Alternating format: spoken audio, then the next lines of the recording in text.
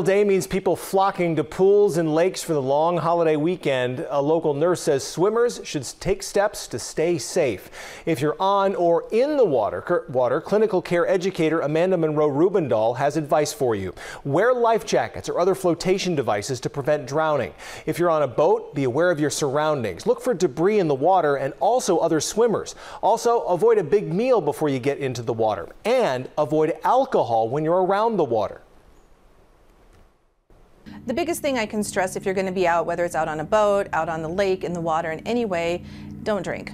Um, there's really no safe amount that we can drink and safely operate any type of vehicle, whether it's a boat, a car, a truck. So um, having that sober person who can operate your boat is as important as having a sober driver.